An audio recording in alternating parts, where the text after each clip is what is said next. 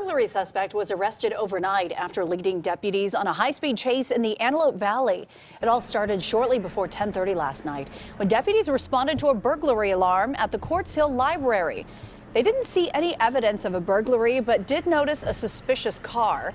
Deputies say when they approached, the driver tried to run one of them over, triggering a chase. It ended in Santa Clarita after the suspect ditched his car. He was quickly arrested near Sierra Highway and Dolan Way.